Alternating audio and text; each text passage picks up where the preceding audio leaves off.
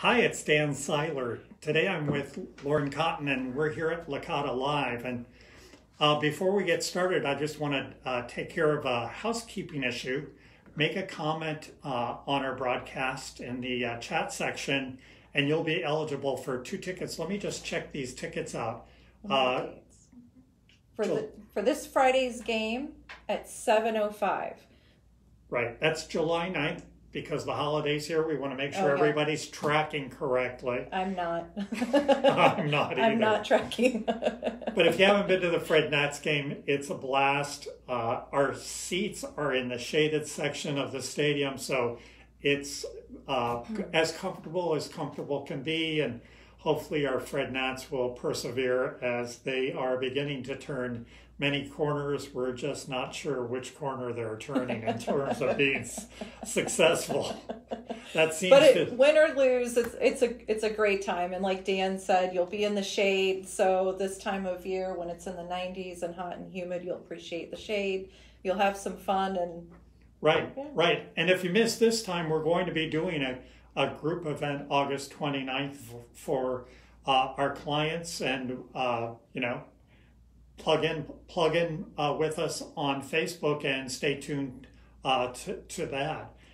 So I think uh, we're going to start out today. It's going to be an unusual Licata Live. It's going to be, you know, statistics because we keep seeing some changes in the marketplace, right, Lauren? We do, we do, and we're getting a lot of questions. You know, is it a, is it a, still a seller's market? Are the houses flying off the shelves? Is it a great time to sell my house? Are interest rates still low for buyers? So I mean, we do get a, a, a lot of a lot of questions. Right. And we like to say um, a lot in our business. We talk about shifts, and we don't think we're seeing a shift per se in a big macro sense, but uh, one of our colleagues summarized it as a microburst, and we'd like to share a little bit of that information about microbursts. But uh, let's let's start with Lauren. She's going to share some statistics with you about the local real estate market that we think are pertinent. Go ahead. All right, so first I'm going to start off with Lake of the Woods, and forgive me, I don't have this memorized. I, I do have it written down. So first I'm going to start off with Lake of the Woods. As of just before us going live, there are currently 30 active listings in Lake of the Woods, and those listings range in prices from 265 to about 700,000. Um, so 30 listings. That's that's a lot for for what we have Has been been, been yeah. seeing. So just you know, a month or even two months, three months ago, we might be seeing eight active listings on the market. So to have 30 homes in Lake of the Woods to choose from right now, to actually have available to us to show, it it really does seem like seem Sure. like a lot. So 30 active listings in Lake of the Woods. There are currently 40 that are under contract and 36 um, there's been 36 closings within the last 30 days for lake of the woods. So orange county so now i'm going to talk about orange county as a whole but i'm not going to include the lake of the woods stats. We just went over the lake of the woods stats. So just in the county not to include lake of the woods there are 64 active listings and those range in price from 150000 to just under 10 million That's that's a pretty wide pretty, pretty wide, range. But you know, I just to segue for a second, that means there's some affordability in Orange County. And if you're working in Fredericksburg or Culpeper, that's a possible option for you to live in Orange County. Absolutely. A little less taxes Oh, yeah. and uh, some opportunity to uh, to enter into home ownership. Absolutely, absolutely. So 64 active listings um, in Orange County, and there are 100 that are under contract, and 52 have closed within the last 30 days. And then I also just wanted to give just a, a brief overview of what it looks like in Spotsy County Yeah, too. you got to show Spotsy some right. love, as they say, right? That's right. Well, I'm I'm a little biased. Orange County is my home, so I always like to start with start Spotsy. with, with he's Spotsy, so we'll go with Spotsy for him.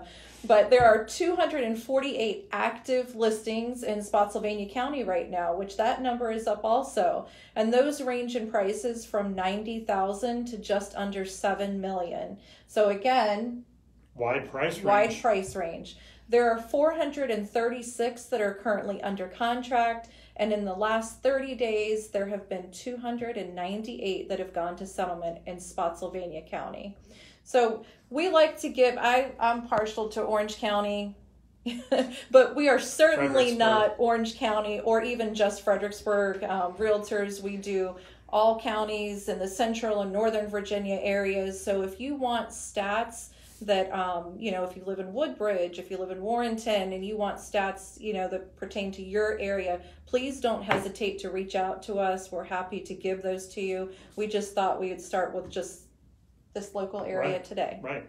And, you know, one of the things that we do on a regular basis for our clients is hey, we do neighborhood reports. We do. So you can take the county or the city and you can drill that down into neighborhoods, provided the neighborhoods have enough of a population to warrant reporting. And from from my experience, and I think Lawrence too, you're going to find most neighborhoods have neighborhood reports. If not, we can generate the uh, bought and sold statistics and what the average cost of homes were in it. And for your for your area, if you don't have a large enough neighborhood to to populate, like like Dan said, so right, and you know we're seeing that in Western Spotsylvania County, folks are moving out from Fredericksburg to uh, the county, getting close to Lake Anna and areas like that, and they want to know, hey, um, you know, tell me about what's what's going on in the neighborhood. That's right. And sometimes they're the neighborhoods are so fresh and young and growing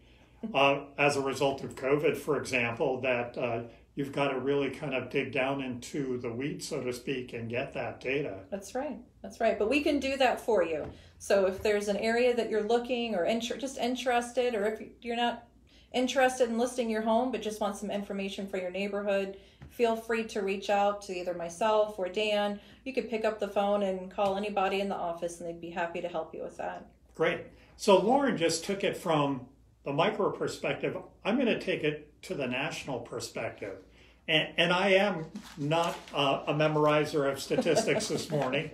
So let me just share. This is a report that just was published June, uh, July 1st, excuse me. So just the other day from the National Association of Realtors.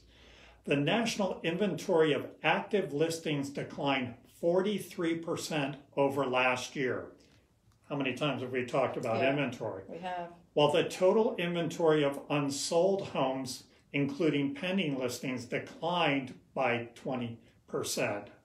Again, if you don't have the houses to sell, you're not going to be able to sell them, right? That's right. But here's the microburst uh, situation that we're seeing not only nationally, but also regionally in the Fredericksburg Association of Realtors area, King George, Orange County, Spotsylvania County, Fredericksburg, and that area. And here's what uh, has been uh, recorded newly listed homes in the market are up 5.5% nationally as compared to a year ago, and 11.7% higher for large metro areas over the past year. That's good news for all of us that are looking for a home. And you might have noticed it in your own neighborhood. Maybe you've seen, like I have in my neighborhood of Lee's Hill, I've seen some signs pop up. Now, interesting uh, statement. However, NAR goes on to say, the, the association goes on to say, sellers are still listing at rates lower than previous years. So, what does that tell us, Lauren? that that tells us that there has been a little bit of a shift just just a just a little bit just just a little bit it is still a a very strong market and we would say it's still very much a seller's market, Seller's market, but yeah. there has been just just a little bit of a shift So, I know both Lauren, are probably more so than myself, since Lauren is a listing specialist and I do buyers and sellers. A lot of my buyers have been frustrated over the past few months about not having a, enough homes to look at. So, this little shift, this microburst, mm-hmm. as we call it, is now telling buyers hey, interest rates are still very, Very low, reasonable and there's more houses on the market to buy. So don't give up the ship.